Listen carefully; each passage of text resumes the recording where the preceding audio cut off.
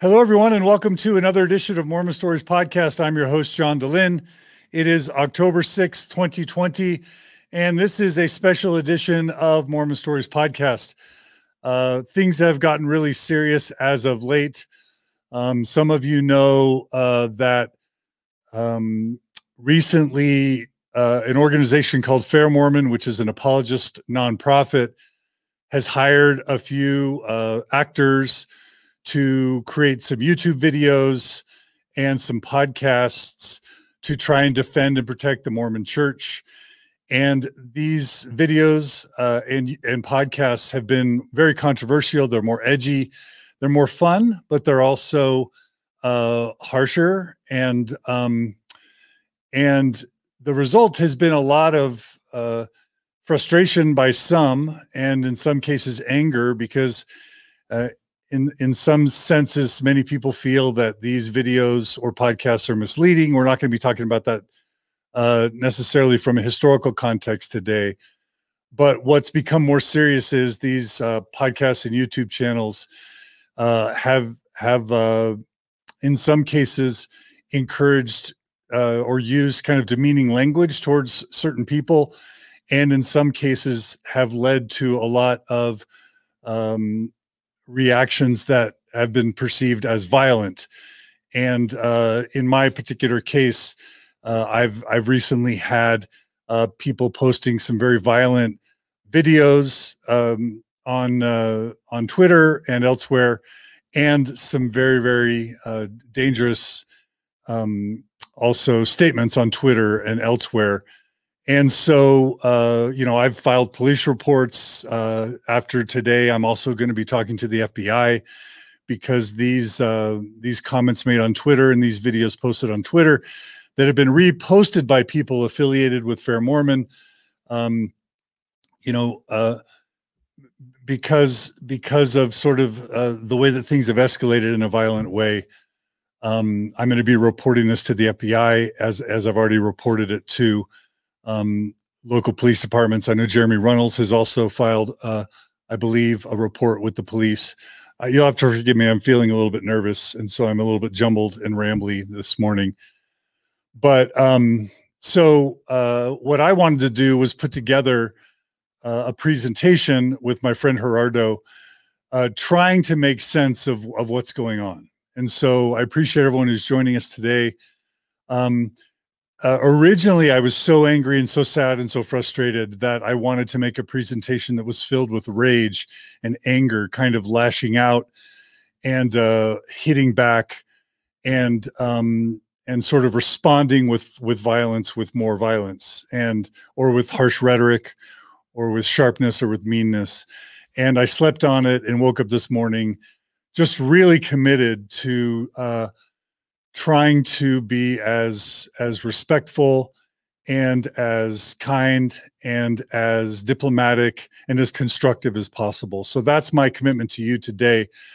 I don't want to be attacking people personally. I don't want to be using harshness or meanness or criticism that's that's unhealthy or toxic. But I do want to educate and inform and explain as best as I can what's going on. Um, and I appreciate everyone who's joined us today uh, to check this out.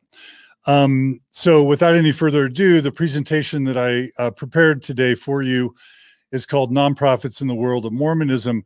We're going to be talking about uh, the Open Stories Foundation, the More Good Foundation, Fair Mormon, the Interpreter Foundation, and Book of Mormon Central.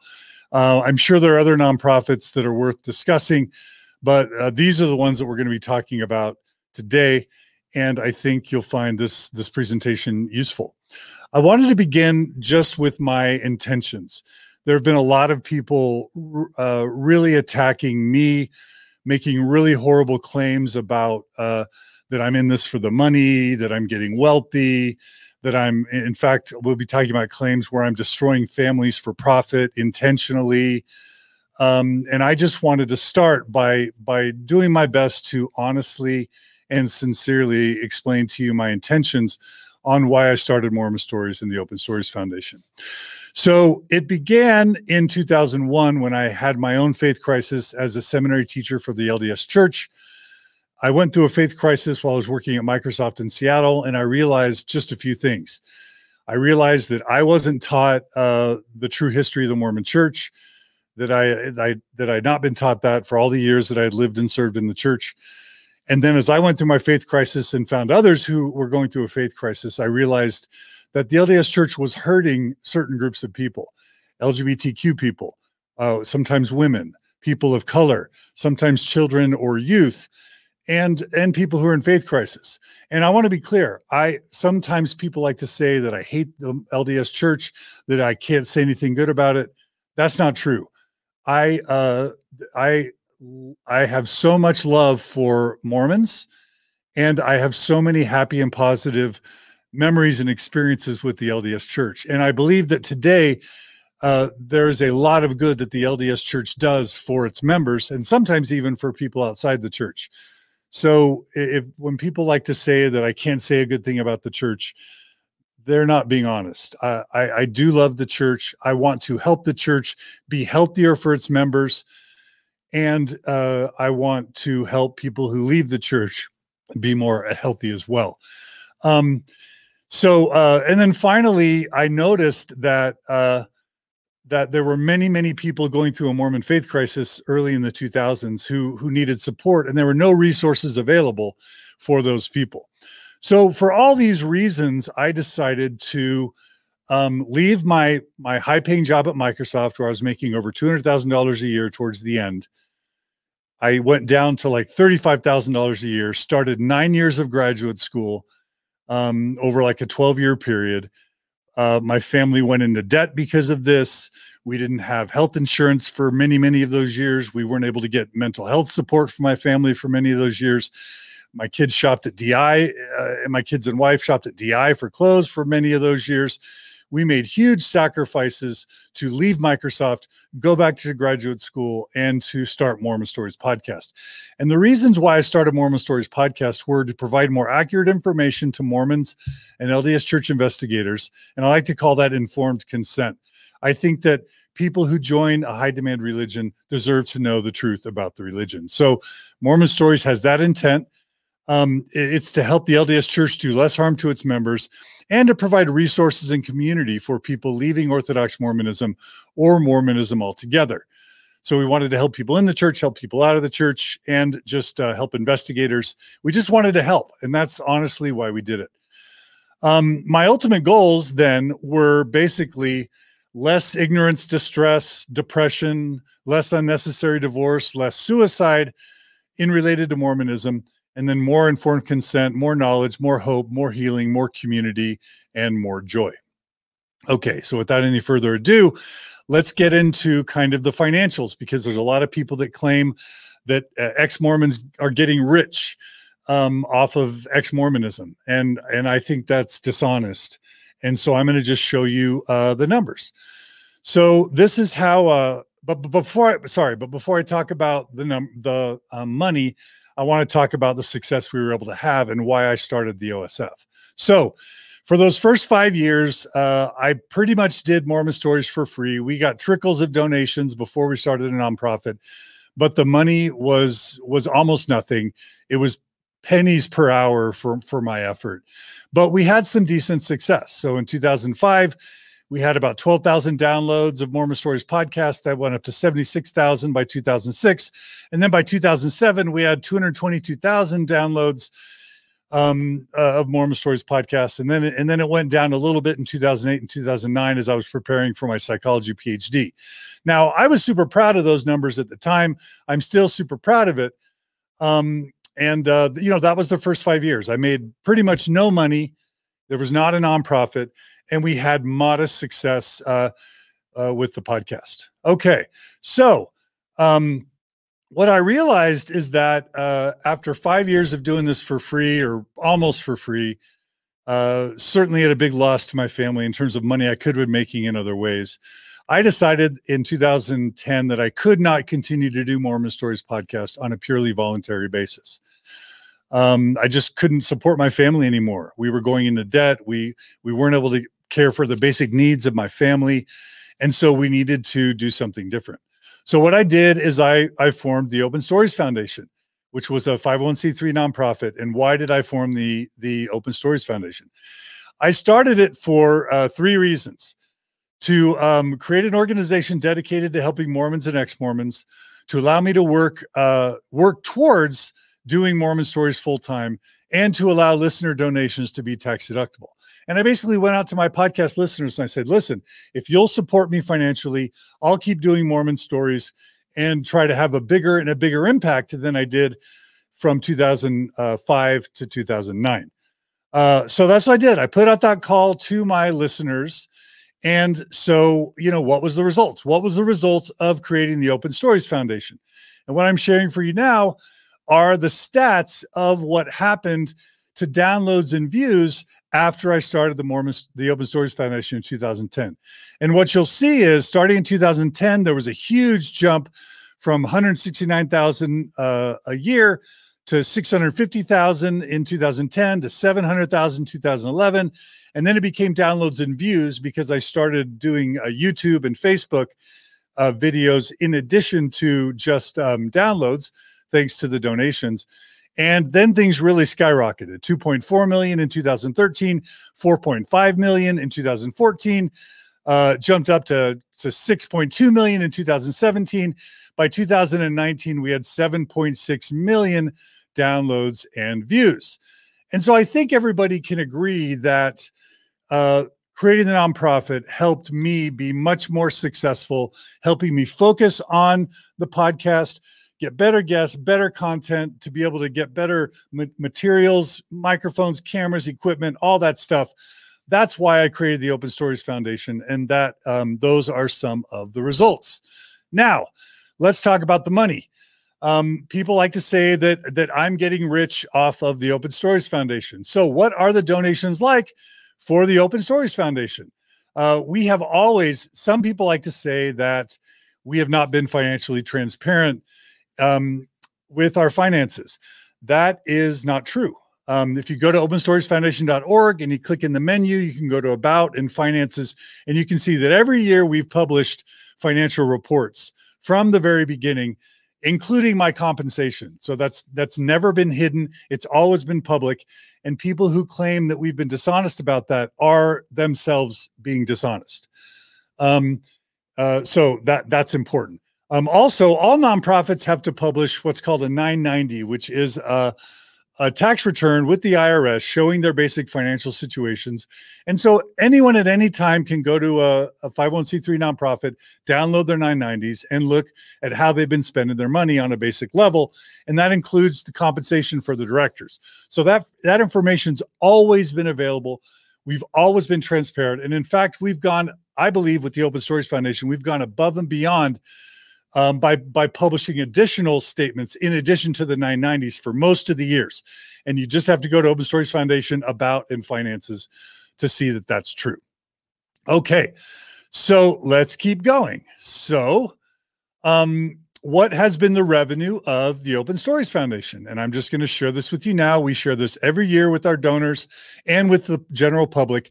In 2010, let's just say we had about $50,000, jumped up to about $100,000 in 2011, $200,000 in 2012. Then, uh, you know, uh, I had to get really focused on my PhD. We had some uh, some bumps happen within the Open Stories Foundation. Uh, so we got down to about 150,000 in 2013. By 2015, we climbed up back to about 200,000. And then since then I graduated with my PhD in clinical and counseling psychology.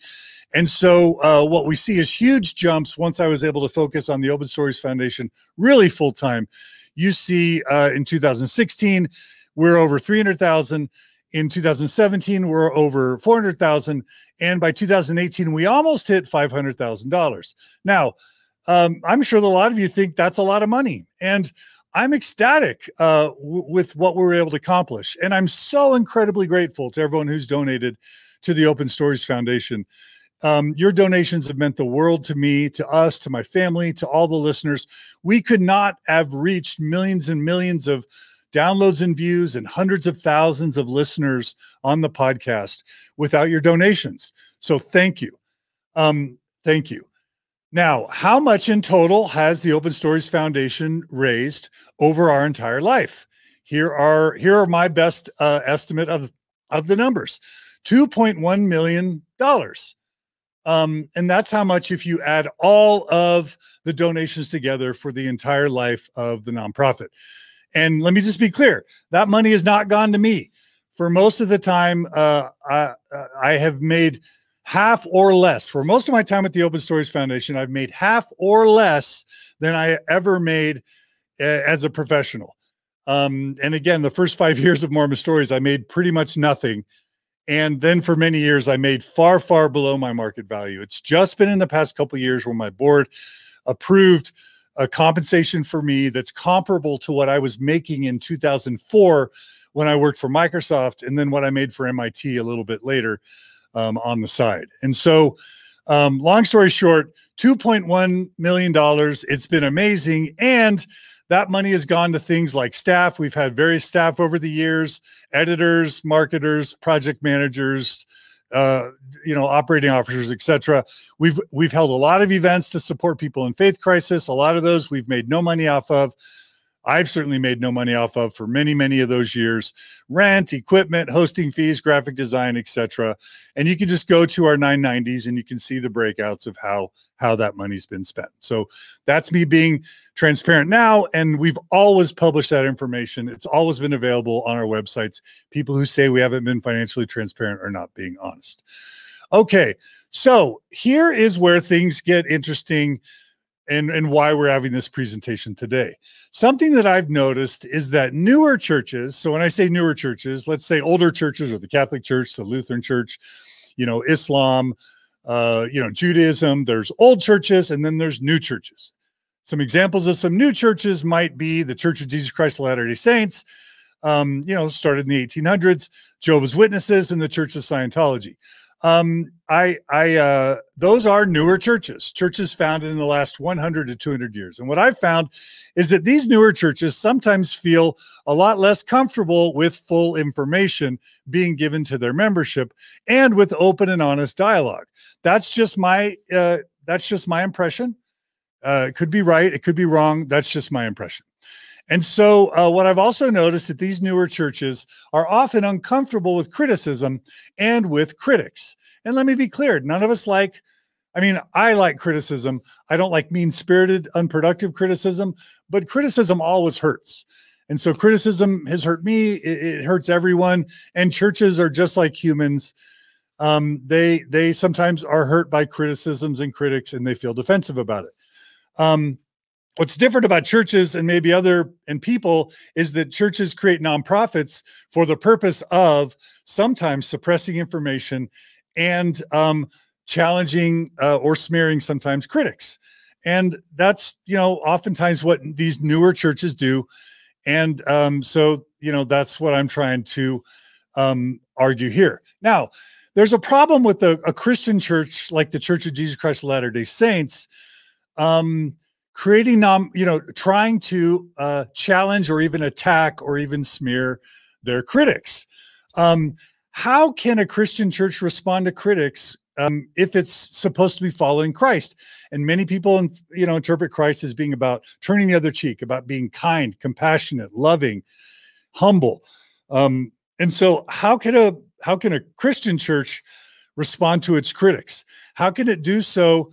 Keeping its leaders above the fray so that the leaders aren't drug, drug into the muck, so that their reputations are these powerful, wise um, men uh, who are who are Christ-like and good. They have to be they have to be sort of be kept above the fray. Um, but also the church needs to be kept at arm's length so the church can't be accountable for these criticisms. So they need to use surrogates who can do the work for the church and help the church avoid any legal or public relations liability. It's a tricky thing. It's one of the tricky things that these newer churches have to do. And, uh, and it's why they create nonprofits. So they create these nonprofits um, uh, to help control the information and the conversation, and frankly, to respond to critics. And so, um, four nonprofits that we're going to be talking about today that the LDS Church has helped has created, frankly, um, you could say they're in indirectly created by the church, but I but but I think we're going to be able to make a pretty case that there's a direct tie between the Mormon Church and these nonprofits, and you can judge for yourself if you think that's true. Um, you may disagree, and that's totally cool. But the four ones we're going to talk about today are the More Good Foundation, Fair Mormon, the Interpreter Foundation, and Book of Mormon Central. So those are the four nonprofits we're going to be talking about today. All right. So let us begin by um, sharing with you what a, a bit of what we know about these Mormon apologetic nonprofits. The first thing that we know about these Mormon apologetic nonprofits, and I'm just going to say as a disclaimer, we've collected all of the 990s for all of these nonprofits. So again, these nonprofits have to file what's called a 990 form each year with the IRS that shows their donations, their, their revenue, it shows their expenses at a high level, and it shows um, they have to report who their large donors are and who their boards of directors are. Um, and all that information is public. And so what we've done is we've collected the um, 990s for Fair Mormon, the More Good Foundation, the Interpreter Foundation, and Book of Mormon Central, and we've analyzed them a little bit. And we've we're going to make them available on the Mormon Stories podcast website uh, as soon as this presentation's over, so that you can analyze these 990s too. And and um, they show us a lot of important and interesting things. So, for example, they they provide publicly. So I'm not doxing anyone. This is public information that uh, anyone can access Okay. They show that that wealthy donors like Blake and Nancy Roney from Nu Skin, Steve Lund from Nu Skin, Alan and Karen Ashton from WordPerfect, David Neeleman from JetBlue, Spencer Kirk from Extra Space Storage, David and Bianca Liz Lisonbee from 4Life Research, and many, many, many other super wealthy Mormon donors give their money to these nonprofits. And if you go to um, not all of these 990s that we've collected show who their large donors are, but the ones to the More Good Foundation do show who their large donors are. And so you can go in and look and you can see this information. It's publicly available. And so these big, these super wealthy donors either give money directly to these four nonprofits, or what we've discovered is that in some cases, the super wealthy donors give money to the More Good Foundation. In at least one year, then the More Good Foundation gave money to the Interpreter Foundation, to Fair Mormon, and to Book of Mormon Central. So more on that in just a second. But we know that that is, I'm pretty sure that that's all factual. If you want to verify this, I encourage you to do so. And again, we'll be publishing the 990s very, very soon. So um, I I was transparent about how much money the Open Stories Foundation has made. Now, what I want to do is also share how much money these other nonprofits have made. So, how much money are these Mormon apologist nonprofits receiving overall? Um, you'll be able to download these 990s at mormonstories.org, but our analysis shows that over from about 2005, which ironically is uh, the same year Mormon Stories podcast launched. So, in same year, uh, based on my understanding, the same year that Mormon Stories launched, um, the More Good Foundation launched um it's probably just coincidence. But from from that point further we see the money steadily growing. So for for let's just say six or seven or eight years it's about a million bucks to these nonprofits. But then starting around 2012 2013 2014 which i think is around the time i gave my ted talk around 2013 um you know, Marlin Jensen announced that we're having the greatest apostasy since Kirtland. The Swedish Rescue, you know, started building up from 2010 to 2013. Hans Mattsson comes out with his story in the New York Times. Um, you know, me and you know me and Travis Stratford and Hans Mattsson, um, you know, and Greg Prince and others work together to present issues to the church uh, about people leaving the church and um, and again, eventually my TED talk for LGBT Mormons, I think was an issue. Kate Kelly and I getting um, uh, summons that, that we were going to be excommunicated by the church by 2014, I think was a big deal. Uh, lots of other things. Uh, CES letter coming online, Mormon Expression podcast.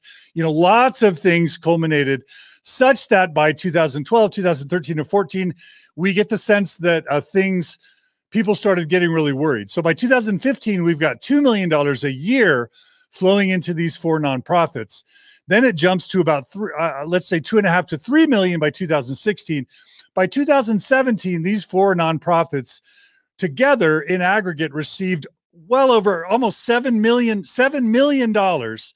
And then in 2018, it's jumped back down to let's just say three, three and a half million. So while the Open Stories Foundation was, you know, receiving 50,000, 60,000, 80,000, 100,000, you know, uh, eventually maxing out at, you know, 400,000, 450,000, 480,000.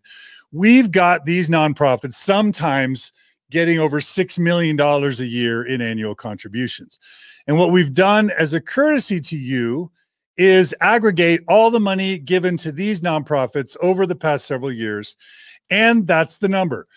$22.8 million has been donated to the More Good Foundation, Fair Mormon, the Interpreter Foundation, and um, Book of Mormon Central um, over these past years. And actually, that is a typo on that slide. And so I'm going to I'm going to fix that typo really quick because um, it had the Open Stories Foundation on that slide and it didn't belong there. So that's it. That's a number. That's a pretty big number. Look at that number. Okay. $23 million has been given from wealthy donors and the Mormon church to these four nonprofits. Now, don't take my word for it. Maybe we got the math wrong. Okay. Um, so please go to these 990s yourself, pull them out, add up the numbers, and check our math. Um, it could be wrong, but but this is our best guess at how much money these nonprofits have received so far. So the next question is everybody wants to know this is the LDS church directly contributing to these nonprofits?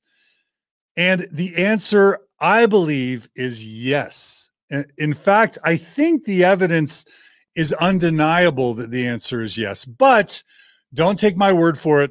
Let's look at the data. Okay. So, um, what what we've what we've observed is that it, it kind of works this way. Um, good, honest, hardworking uh, Latter Day Saints from all over the world give money to the Mormon Church, so they pay their tithes and offerings to the Mormon Church. So the Mormon Church gets a bunch of money, right?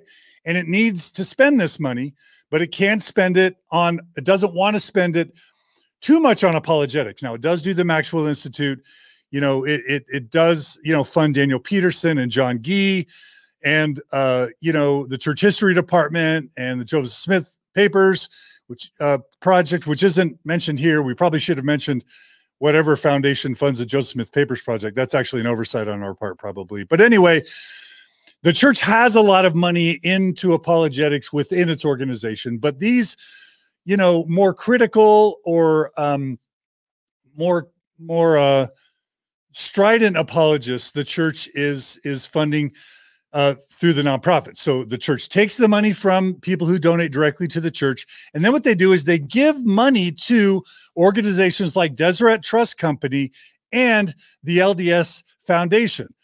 These organizations are owned and controlled by the Mormon Church. So the church gives money to the tithe payers' money to the Deseret Trust Company and to uh, the LDS Foundation. As far as I know, if I've got this wrong, somebody please correct me. I don't want to spread misinformation.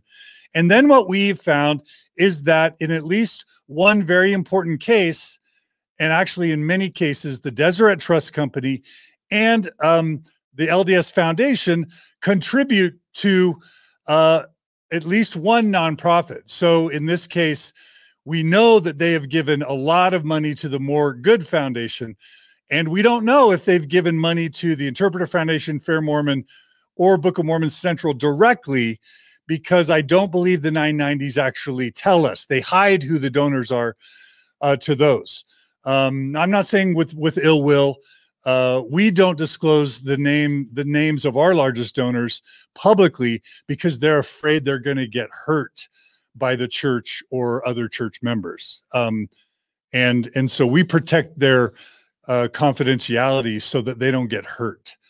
Um, uh, anyway, so um, so that's kind of how it works. And uh, just to be clear, th- this is a screenshot that shows that the Deseret Trust Company is in fact owned and controlled by the LDS Church along with the LDS Foundation. Um, and, and so there should be no question about that. Now, the very next slide shows excerpts from the More Good Foundation's 990. Okay, the 2017 990 for the More Foundation and the 2018 um, 990 for the More Good Foundation. And what you'll see is that the Deseret Trust Company um, donated $1 million to uh, the More Good Foundation in 2017. So, if I'm understanding that right, the Mormon Church took tithe payer money, gave it to um, gave it to the Deseret Trust Company, and then the Deseret Trust Company gave a million dollars to the More Good Foundation. Okay, um, in 2018, the LDS Foundation um, gave $430,000 to the More Good Foundation. And then the other chart that we have on here are funds donated to the More Good Foundation over time. And what this shows is that from 2009 all the way to through 2018, either the, the Deseret Trust Company or the LDS Foundation gave around a million dollars plus a million around a million dollars a million to two million dollars a year. Sorry, sorry, almost two hundred thousand dollars a year. So between I'm gonna sorry, let me start over. I'm a little nervous again. Please forgive me. I don't want to say this wrong. I want to get this right. So from 2009 to 2015, uh, the LDS Foundation gave almost two hundred thousand dollars a year um, to to the More Good Foundation. And then what we see is in 2017 we have that huge million dollar jump where uh, the desert where the Desert Trust Company gave a million dollars in addition to the $200,000 that the LDS Foundation gave. So that's one point, if I've got my calculations right, that's $1.2 million uh, to the More Good Foundation in 2017. And then in 2018, um, the donations from the LDS Foundation increased to $400,000. So in total, what that's our best calculations show that 2.9 about more than 2.8 million dollars have been given from the LDS Church and its tithe payers to the Deseret Trust Company and the LDS Foundation, which was then given directly to the More Good Foundation. So I hope I've been able to demonstrate to you that the LDS Church directly funds these apologetic um, organizations. Um, then I want to show one level deeper what we also discovered from the More Good Foundation's 990, at least in 2018, is that the More Good Foundation directly gives money to the Interpreter Foundation, Book of Mormon Central, and Fair Mormon. So if you look at that 990, it shows uh, the More Good Foundation gave 90 grand to the Interpreter Foundation, 90 grand to Book of Mormon Central, and 120 grand to Fair Mormon. Um, so I hope I made that case I hope that's clear. I hope I'm not belaboring the point, but that's that's three hundred thousand dollars in total in 2018 from the LDS Church to the More Good Foundation to Fair Mormon Interpreter and Book of Mormon Central. All right. So the next question is the More Good Foundation has it been honest about receiving direct donations from the LDS Church? And as sad as it is, is to say this, I think the answer is yes. They've been dishonest. Let me show you the evidence and you can decide for yourself if that's true. But what we have here is a screenshot um, of the More Good Foundation, uh, I believe around 2016. So this is kind of what I, I think the More Good Foundation's website said from 2009 to 2016 under the question Does the LDS Church control or operate the More Good Foundation? It says the More Good Foundation operates independently from the from the Church of Jesus Christ of Latter-day Saints. It is not managed or funded by the church. Now, that looks like uh, an untrue statement from the More Good Foundation, um, but I could be wrong. So if I'm wrong, I would invite the More Good Foundation or Curtin McConkie or the LDS Church or whoever wants to to correct me because I would never want to be dishonest intentionally or mischaracterize anything that I'm saying here. But it looks like the More Good Foundation was not honest about the money that it directly received from the LDS Church. And I would argue you could say that maybe that means the LDS Church wasn't honest either, um, because I'm guessing it knew that that the More Good Foundation was claiming that it did not receive money from the LDS Church. Now, please correct me if I'm wrong. Okay, so in total, what we have is 2.9, about 2.9 million dollars going from the Mormon Church, tithe payer money going from the Mormon Church to the Deseret Trust Company and the LDS Foundation, and then being channeled to the More Good Foundation. I think we've made that point clear. And and and some people find this stat very interesting that in 2017 alone, the LDS Church donated 80 plus percent of the total budget for the More Good Foundation with that $1 million from the Deseret Trust Company. So some people think that's really significant that 80% of the budget of the More Good Foundation in 2017 was provided directly from the Mormon Church through the Deseret Trust Company. So, for whatever that's worth. Okay, next question. Uh, what are Mormon apologist nonprofits doing with all this money? Now, I don't know all that they're doing.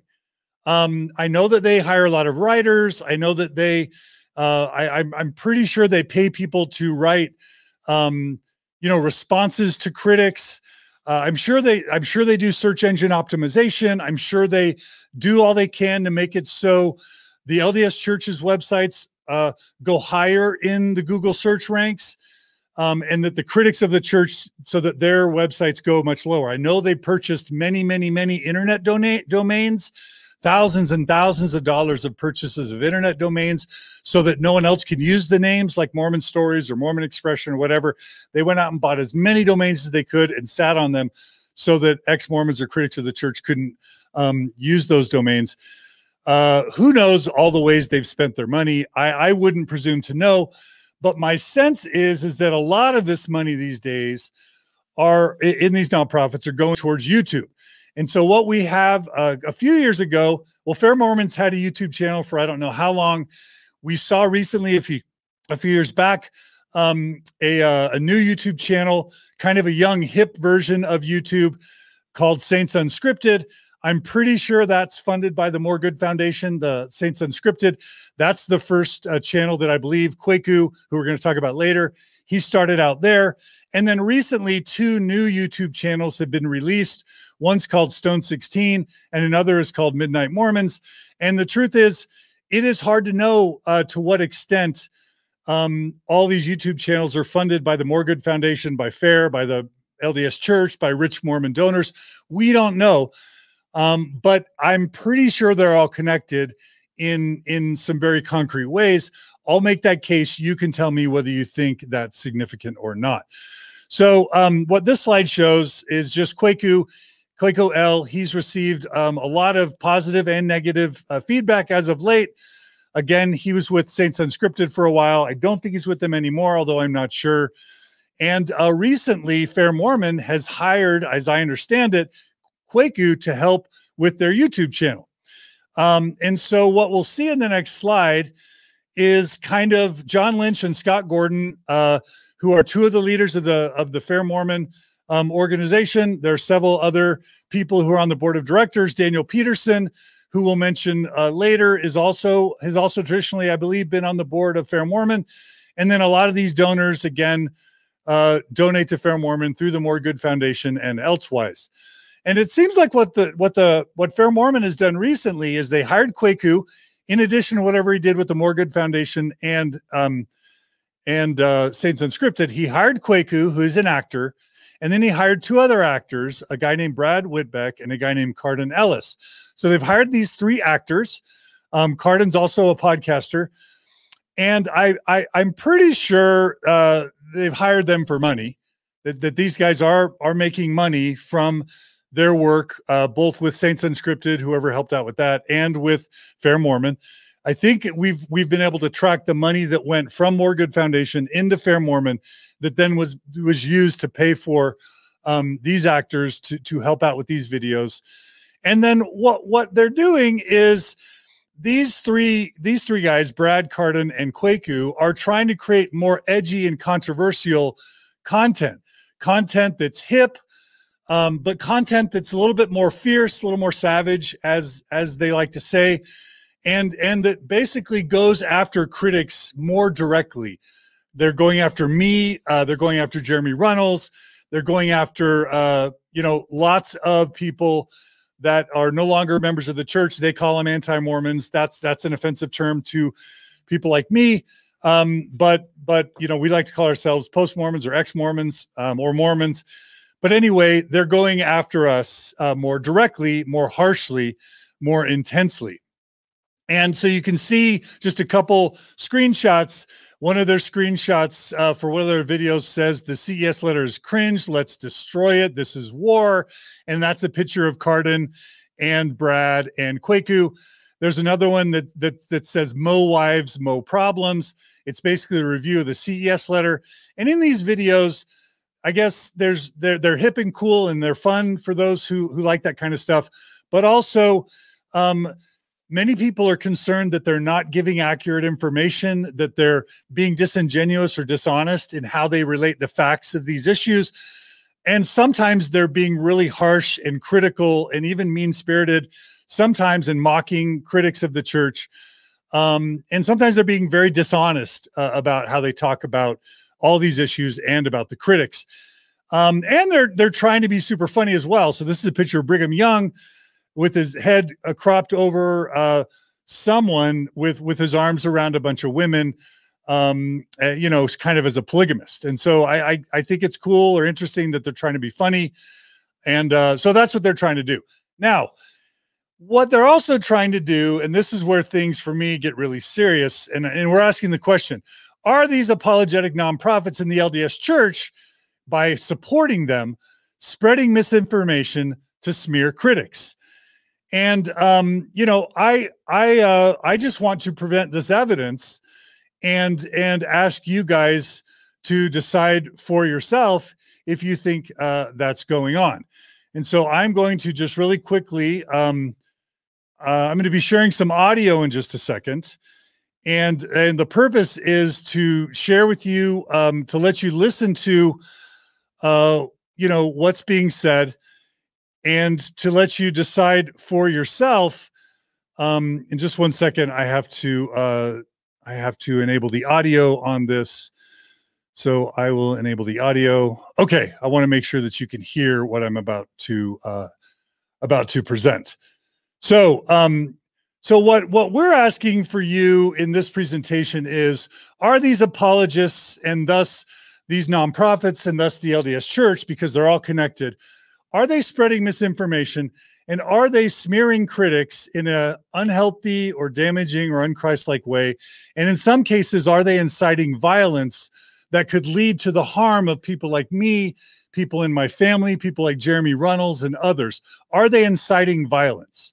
And we're just going to let you decide because maybe they are and maybe they're not. So, the first thing I want to share is um, a, a video from Kwaku and Cardon and um, and Brad. Okay, and this is a video where it's about a two minute video, and it's a it's their it's their sort of claim that um, ex Mormons are getting rich and making tons of money, gobs of money. Uh, by lying and by intentionally trying to destroy families. So I'm just going to roll the clip and I'm going to let you listen to it and I'll uh, talk about it in just a second. But you know, tell me what you think. Having seen what I've seen, it makes it very difficult for me to believe that Jeremy Runnells is actually honest at all in all of this. I, I think now he's caught up in the money of his CES foundation. Well, that's the right? other thing, and he can't leave it. There's so much money in anti-Mormonism. I can't take these people seriously. Mm-hmm. These cats are making the bank off of this anti-Mormons. I mean, the freaking faith crisis cruises John Dehlin puts on. Yeah. Like, uh, uh, like at what point is it not just like that's literally what the MLMs do? Offering a yeah. cruise at uh-huh. the end of the he summer. He has a life coach MLM you know? called Thrive. I think yeah. he is Utah to the brim. Um, I like I talk about like who like you know are pulling some of the culture and everything here, and they like I show them pictures of guys like Jeremy Runnells, and they're like, it's the banality of evil. It's this literally like the is like banality of evil. this is like a cool guy where you're from. I was like, yeah, like the, is No, I- Utah that boring? We're like, this is like, I you know what I mean? I wouldn't say cool, the banality of evil, the boringness of evil. And it reminds me, and I do say evil because when you intellectually dishonestly for self aggrandizement or self enrichment create materials meant to basically break up families, when you go home wrecking for profit, I call that evil. All right. And, and that's what John Dehlin and Jeremy do is they home wreck for profit. There's no other way of putting it in my mind. Okay.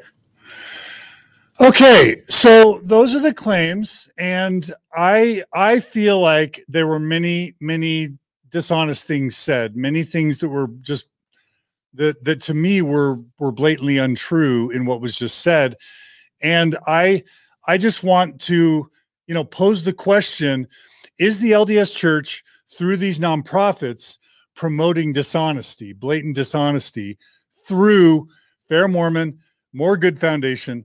and and supporting these actors like like um you know Kwaku and, and and these other guys. So let me just um let me just remind you that you know they just made the claim that ex-Mormons are getting rich uh off of ex-Mormonism. And I just want to ask you, we showed you this number before. $22.8 million put into these nonprofits over the past uh, 15 or so years.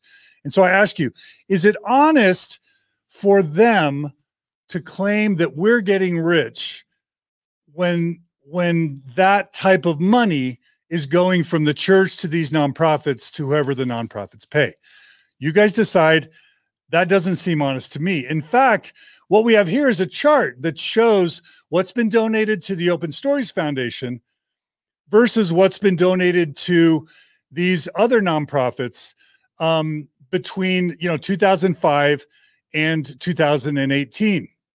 And I just ask you, where who's making the bank? Who's making the bank here? Is it is it us or is it is it the the Mormon apologetic nonprofit industry? Um, you guys make the judge, but if by my estimation, that's 10 times larger, 10 times larger, uh, you know, 1000 is that 1000 percent larger? than uh than what what what I've been making. Um so anyway, next next next slide, what this shows is how much uh, some of the people are making. And what it shows is that just for the More Good Foundation alone, over $1 million in annual compensation for its employees. Uh, $1 million. Again, the, the, C, the CEO, John, Jonathan Johnson, makes at least 175000 David Grant makes 130,000. Other employees make 100,000, 90,000. So multiple employees for the More Good Foundation are making six figures. Okay? And a million dollars just in in compensation of directors and staff in one year for the More Good Foundation. So I ask you, is it honest for Kwaku and for these other guys to claim that we're getting rich with these with with these types of numbers. I just that's that's up to you to decide. Now, there was a claim made that I have um, been been holding multiple luxury cruises. I want to say that that is not true at all. It's dishonest. It's a lie. I, John Dehlin, have been on one cruise in my entire life. One cruise. A couple years ago, a bunch of my listeners said, "John, will you please host a cruise?" We would love to do one of your faith crisis retreats on a cruise. They're intense. It would be a way for us to do the intense work of a retreat and then relax. So um, I planned one. I planned one cruise. Uh, it was in October of two years ago. Uh, uh, it was not. It was not worth it at all. I, if I had it over to do again, I'd meet all the people I met, but I would not have gone on the cruise. It was not fun. I did not have staff there to help me in any meaningful way. I ran it all by myself, and it was grueling. And I made almost, I ma- made relatively nothing for the time and effort that I put into it. That's one cruise. Okay, they said cruises in that video. Cruises, multiple cruises. That's that's a lie. That's dishonest. What's actually honest, as I understand it, is that Daniel Peterson, who is actually the the director of the nonprofit of of he's he's with the Fair Mormon. He's on the board of Fair Mormon, and he's the director of the of uh, of uh, the Interpreter Foundation. He has gone on many, many, many, many cruises over the year, making a lot of money. But but Kwaku and and and those other guys, they don't they don't mention that, and that's dishonest because their own their own guys are going on luxury cruises. I've been on one cruise, made very little money, and and they're representing as if I've been on many. That's dishonest. So that's the LDS Church through More Good Foundation and Fair Mormon being dishonest and misrepresenting the truth to smear me, to make it look like I'm trying to get rich off of hurting people. Um, and, and that's dishonest. Um, I also want to call attention to one of the 990s for the Interpreter Foundation. And what you'll see if you read the 990 in 2019 for Daniel Peterson, the guy I just mentioned, it lists $1 million in a single year for other expenses. And I don't know. I don't know what Daniel Peterson did with that million dollars of other expenses in 2019. I don't know. It could be super legit. It could be not legit. But when we're talking about money, these guys who are friends with Daniel Peterson and, and all these other millionaires channeling tens of millions of dollars in these organizations, they're friends with Daniel Peterson, who gets a million dollars in a single year and they're claiming that Jeremy and I are uh, are are doing this for money. Why aren't they turning Why aren't they turning their scrutiny back on their own people? Why are they avoiding and not sharing this information? It seems dishonest of the LDS Church, of Fair Mormon, of More Good Foundation, and of these podcasters uh, to be uh, sharing sharing information in such a dishonest way. Um, again, Book of Mormon Central. If you go to their 2018 990, you'll see a million dollars in salaries for staff of the Book of Mormon Central Foundation in a single year. And then in 2017, 1.3 million dollars again in other expenses. Now it's it's normal for there to be an other expenses category in a nonprofit because you can't itemize everything out. But to have a million dollars categorized as other, I think it's fair for you all to go to the Interpreter Foundation, Book of Mormon Central, Fair Mormon, and and the More Good Foundation and ask them, when you guys have millions of dollars in your other expenses category, where's that money going? Can you give us an accounting? Is it going into the pockets of the leaders and the directors? Is it going to friends and family? Is it going to legitimate purposes? Why isn't it categorized in a way to where people can actually see how the money's being spent?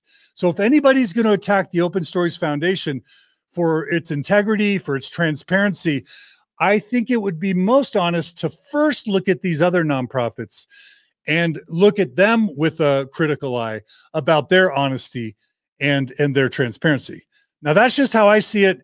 You guys may see it differently, but but but check out the 990s and see for yourself. So in less than two minutes, um, these guys, Kwaku and, and Brad and, and, the other friends, with the support of Fair Mormon and the More Good Foundation, which which is the support of the LDS Church, they they mischaracterized the money being brought into the Open Stories Foundation and, uh, and others like me.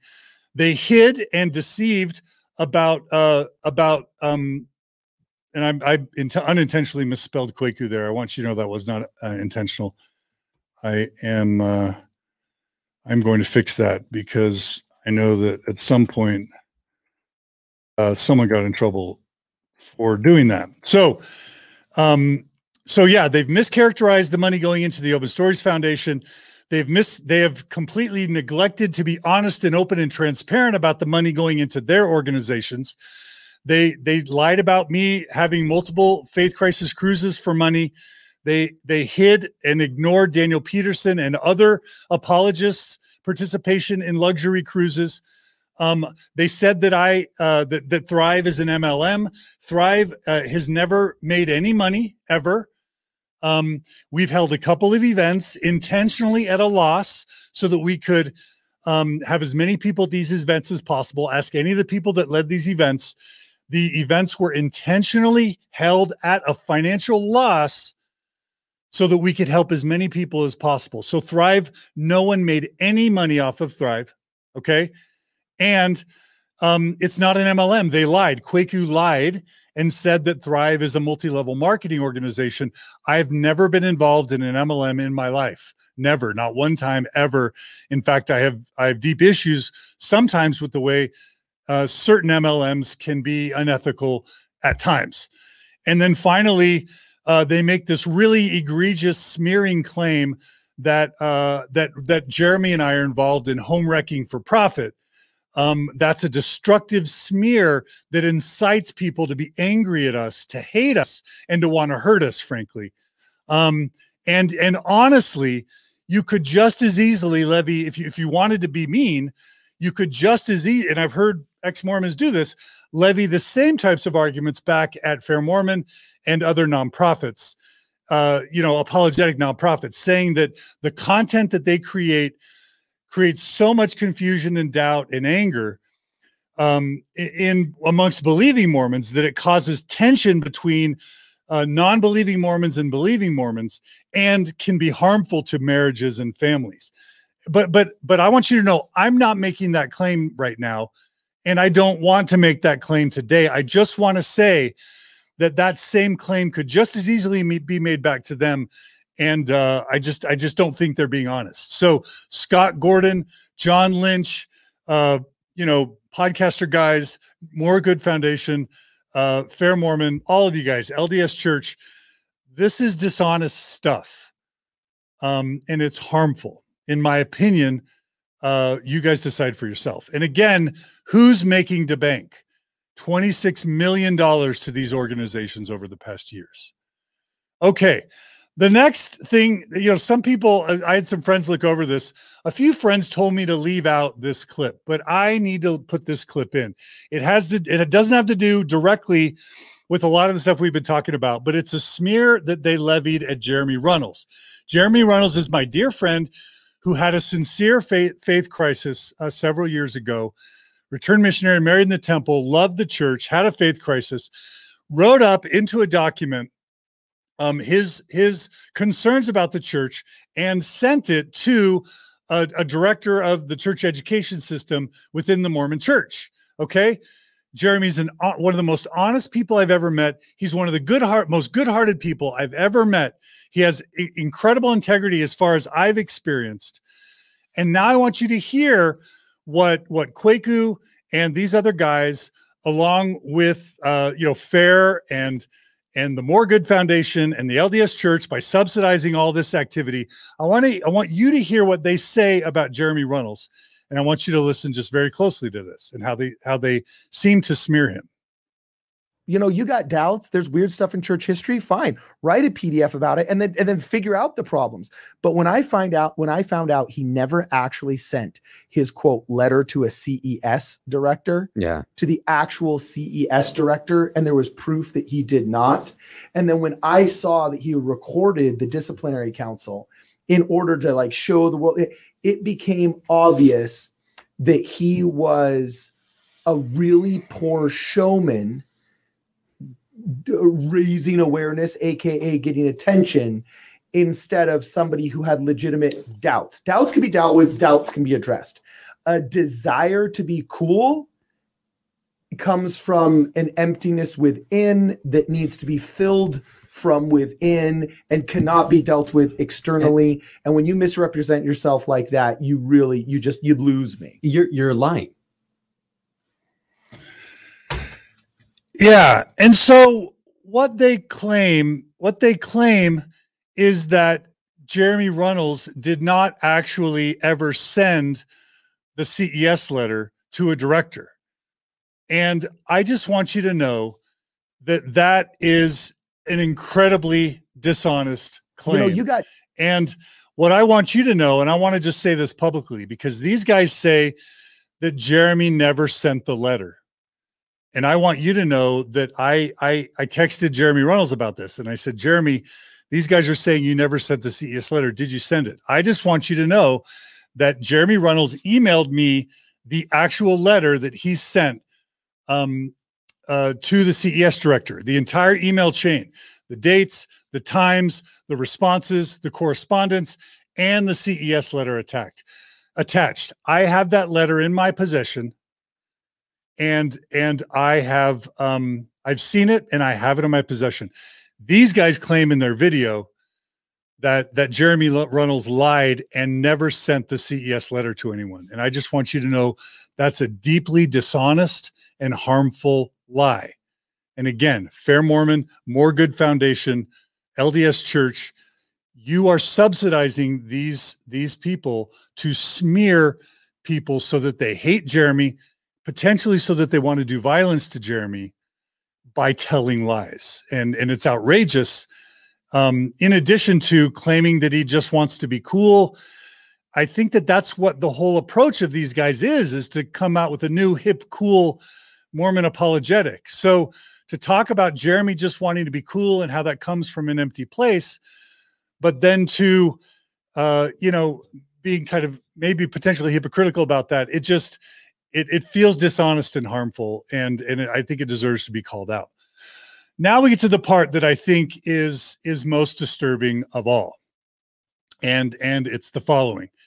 Uh now that these videos have been uh you know shared these guys uh you know like Kwaku um you know like Cardon Ellis they're tweeting uh, through social media, through all their followers, they're tweeting to these people all these uh, videos that are that are spreading lies to disparage me, to disparage uh, Jeremy Runnells and others.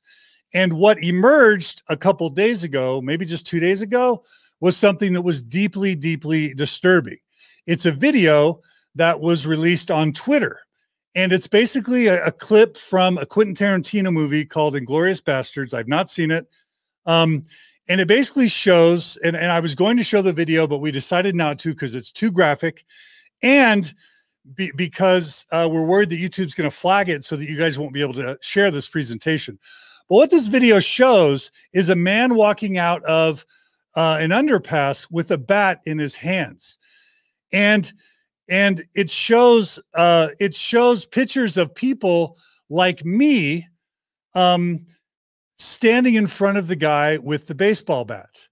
And then what it shows is the guy with the baseball bat and and and the the label over the guy with the baseball bat is tits which stands for um uh oh crap what does it stand for um this is the show that's one of the names of this uh, YouTube channel that Fair is subsidizing. This is the show.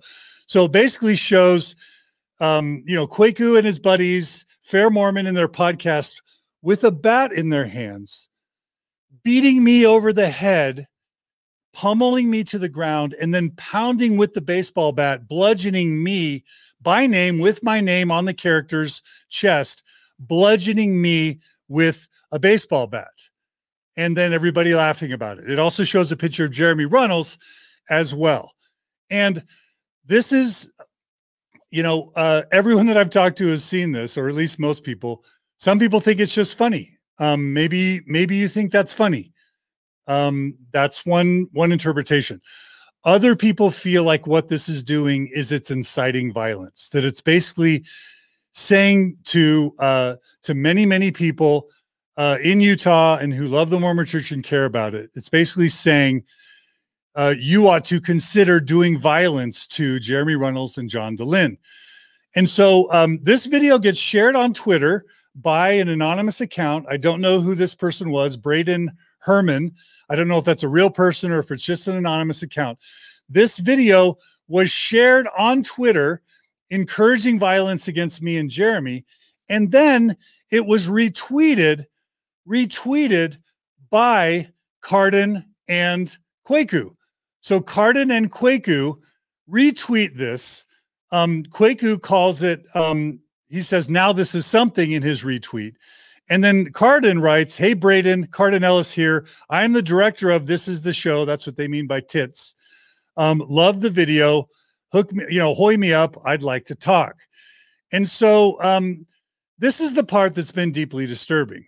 And it's been so deeply disturbing that uh, I talked to my wife, I talked to my kids, And we decided to file a report with the police department, and Jeremy Runnells decided to do the same because we are literally fearing for our own safety.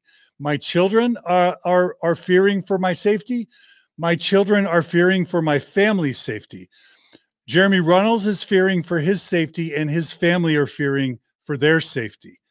And if you don't believe that that these types of videos are capable of inciting violence, let me read to you one of the comments made on the Twitter feeds. It reads um, from someone named Elder Hyde. It's got a picture of a knife with someone's um, hand holding the knife with red, white, and blue blue colors in the collar, and it says, "Physically, um, so badly that the people who come to clean her up, they're going to be puking when they see what I did to him. All right. I want them to know how I feel about him. So I'm going to flip him up so bad that he makes them puke when they see his bruised, mangled body. And that is a comment made in response to this video, this video that was shared. Now, I'm going to just also say one thing. I did I did uh, post this video in multiple places and share it. I did that at the advice of a legal counsel who said that I needed to make a copy of this and make sure it was public for my own safety, for the safety of my family, and as a legal record to show that that Kwaku and Cardon and thus Fair Mormon and the More Good Foundation and thus the LDS Church were potentially inciting physical violence against me and Jeremy Runnells and my family. And so that's why I shared it, but it was already out there. And I waited to share it until my kids discovered it because they follow Kwaku. Some of my kids follow Kwaku. I didn't share it. My kids reached out to me. They said, Dad, I'm terrified. Uh, did you see this? What are we going to do? That's when I consulted with uh, legal people and that's when I decided to go ahead and share this publicly so that everyone would know what was going on, so that the media could get involved. I don't know if the Salt Lake Tribune and the Deseret News follow stories like this anymore. They both seem to be heavily influenced and or controlled by the Mormon church. So I don't know if the Salt Lake Tribune or the Deseret News are going to be doing any journalism on this. I don't know if KSL cares about uh, stuff like this. Uh, I don't know. I don't know if anyone cares about uh, this kind of stuff anymore. It seems like there's so much stuff going on in the world. I frankly wouldn't blame people for not caring, but um, I wanted to at least let people know that Jeremy and I are are receiving death threats, um, that our families are being threatened, and that this is in response to people like um, Cardon Ellis and Kwaku, uh, supported and funded by the More Good Foundation and Fair Mormon and the LDS Church. As far as I know, um, you guys tell me if I've gotten this wrong, um, but it seems like they're all connected. Uh, they're inciting violence against me and my family, Jeremy and his family, and I just want to say we're scared. We want uh, we want to ask that that that Cardon and Kwaku uh, stop doing this sort of thing. That Fair Mormon stop supporting the types of people who incite violence, and that the More Good Foundation, the LDS Church, stop endorsing organizations and nonprofits that incite violence against earnest critics that are literally not trying to destroy families. We're trying to save families. We're trying to alleviate anxiety and depression. We're trying to minimize divorce. And we're trying to help people, help the Mormon church get more healthy and help people who leave the church get more healthy. Please stop inciting violence against us. Uh, please stop terrorizing us and our families. Um, that's my request. Um, so I, I, want to end with a couple questions. The first is Fair Mormon, More Good Foundation, um, LDS Church. Is this approach Christ-like? And some people think that that people who uh, lose their faith in Mormonism aren't allowed to talk about Jesus or Christ or even God. I just want to tell you another lie that I believe um, Kwaku and Cardon have told is that is that I'm an atheist. I've never once identified as an atheist that I remember, or as an agnostic. I have I feel like I have always eschewed those terms. Now, I've talked about those things, and sometimes I've described those. I've I've, I've considered those uh, identities, but I've never identified as an atheist or agnostic. But they like to say that we're atheist and agnostic, which for me is a lie. I'm not. I do not identify as atheist or agnostic. But what they also like to say is you're not allowed to talk about God or Jesus, um, eh, you know, if you're an atheist, which is I think is silly. But I can still talk about the teachings of Jesus Christ that I value and love, even if I'm no longer a Mormon, even if I'm no longer uh, in the church uh, regardless of what my beliefs are, if I one of the things I love about uh, think fondly about the Mormon Church, one of the things I value about my heritage in the Mormon Church, is that um, they taught me to be kind. They taught me to serve others. They taught me to forgive. They taught me to for, to turn the other cheek. It's what I've tried to do in this video I, am sure imperfectly, but it's what I've tried to do in this video. It's what I've tried to do in Mormon stories. I'm not always successful, but is I want to, I, I still believe that those teachings that I learned from my parents and from the church that are associated with Christ, but that are also associated with lots of other people, secular and not, love, kindness, humility, forgiveness, charity, honesty. Those teachings are important. I still value them. And my question to the Mormon Church, to Fair Mormon, to the More Good Foundation, to Kwaku, to, to Cardon, and all these other people is are you emulating the teachings of Jesus Christ in a way that reflects well on Mormons and on the Mormon Church? That's the that that's a question I just want to ask. Everyone's got to decide that for themselves. Everyone's got to dig deep. I've got to dig deep as well. Um, and then finally, I just want to say, because really, we can talk about Kwaku, we can talk about Cardon, we can talk about Daniel Peterson, we can talk about Scott Gordon and John Lynch, we can talk about Cardon and and and Kwaku and others. The truth is, the buck of all of this, all of this, starts and stops right here. All of this we have shown stems from the Mormon Church. It stems from the Mormon Church the money that it gets from its tithe payers, the wealthy Mormons who follow the Mormon church, and then all the nonprofits that have been set up uh, by the Mormon church through its members to make these attacks, these smears that are dishonest and now violent.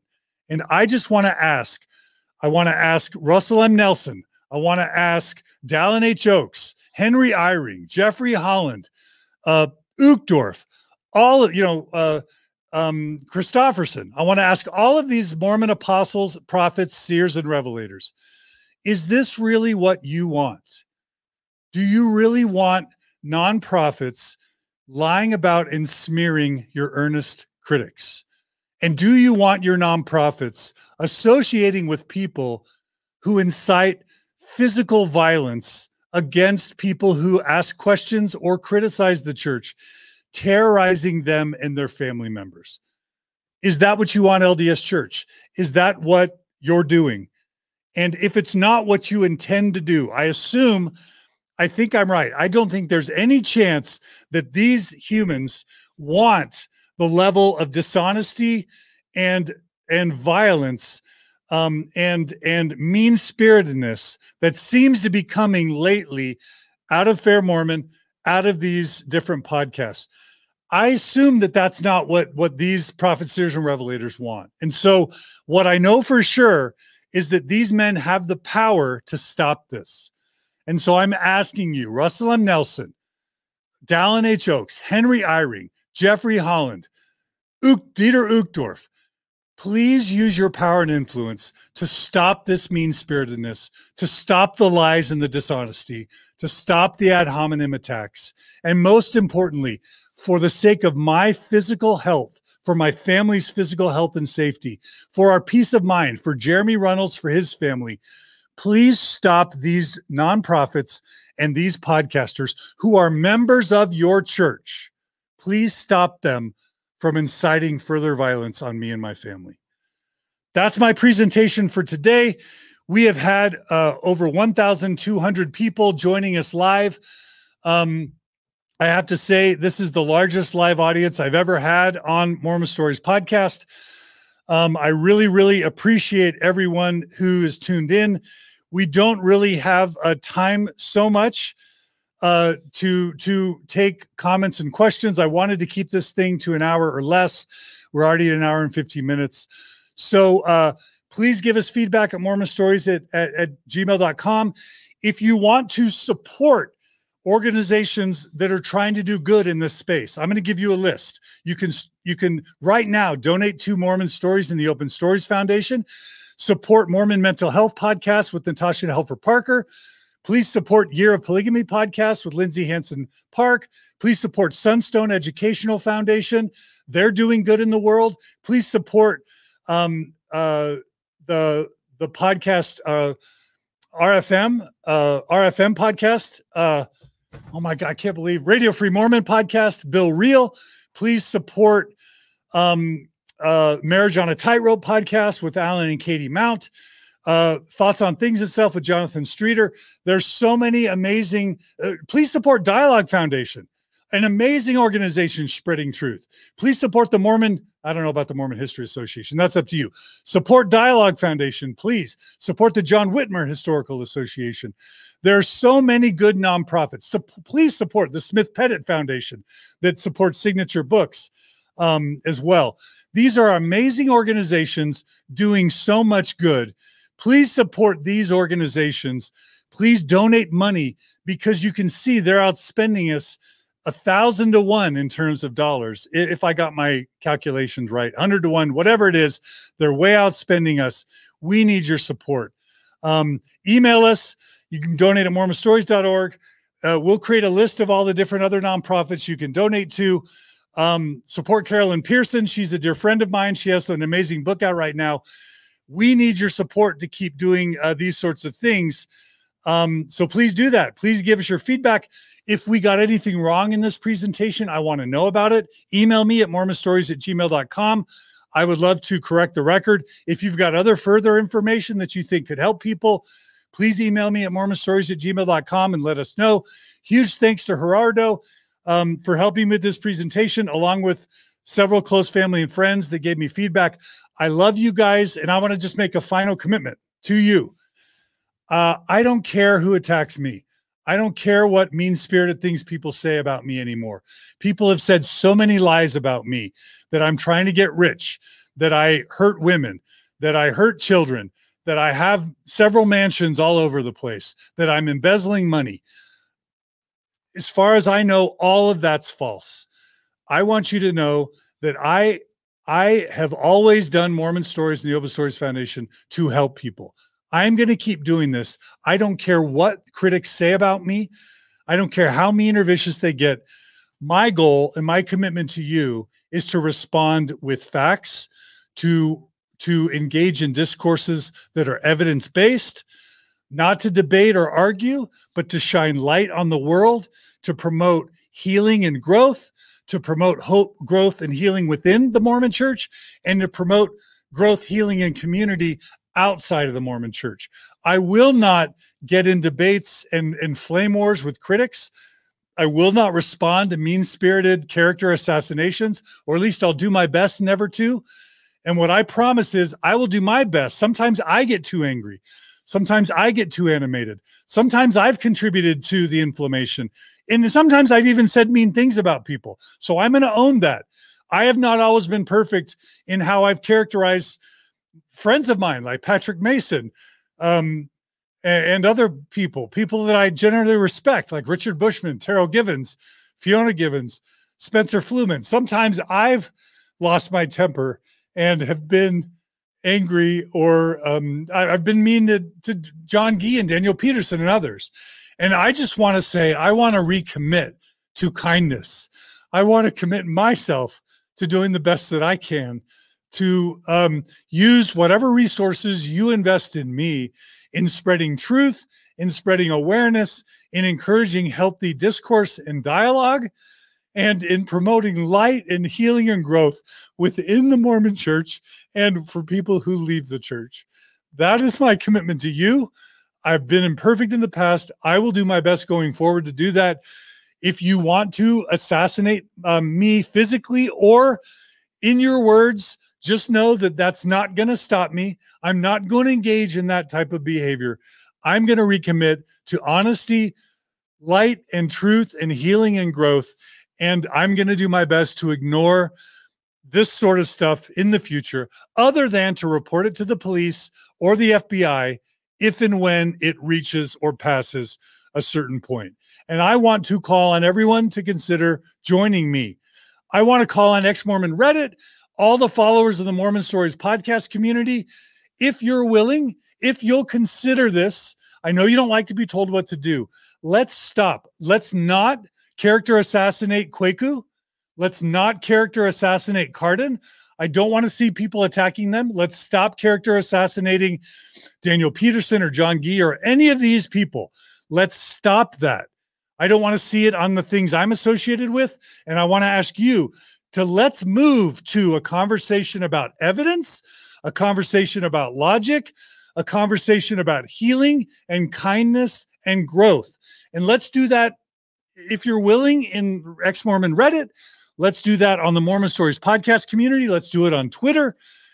It's not going to fully happen ever, but I want to do my part and I want to call on everyone within my voice to consider doing your part as well to encourage dialogues of healing and growth. I'm sorry for where I've messed up. I'm going to do that in the future. Thanks so much for all uh, you who tuned in today. I love and appreciate all your support. Thanks for all the heartfelt, warm wishes. Um, to, to everyone who's been concerned about my health and safety and Jeremy Runnells. Uh, thanks to my wife and kids that have borne far too much stress and sadness and fear. Uh, if there were a time to get emotional, it would be right now as I'm talking about Mar- Margie and my kids that have borne the brunt of, of all of this stress and um, mean spiritedness and, and now violence. I want Margie and the kids. I want you to know I love you guys. I care about you. I'm so grateful that you're willing to let me do this. And I'm so sorry, uh, Margie and the kids, for all the pain that all of this has caused you and for the stress that it has put on you. And I thank you so much for your encouragement and love and support over the years in helping me do what I do. Um, and I'll be talking with you guys, you know, Margie and kids in the next few days about what we're going to do in the future because things have gotten really intense. So I love you, Margie and kids.